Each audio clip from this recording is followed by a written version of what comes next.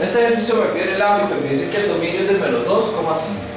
¿Ok? Como el dominio no es R, si el dominio fuera R, yo busco la respuesta que diga R más, pero como no hay ninguna, como el dominio no es R, entonces la respuesta no puede ser R más.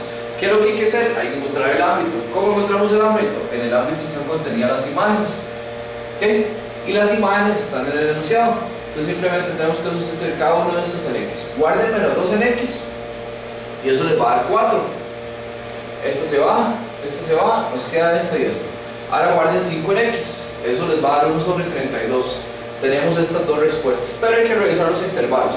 Vean que el intervalo menos 2 está abierto, por lo tanto el intervalo de 4 también va abierto. Entonces la opción correcta va a ser la opción C. ¿Por qué era C? Por los intervalos y listo. ¿Ok?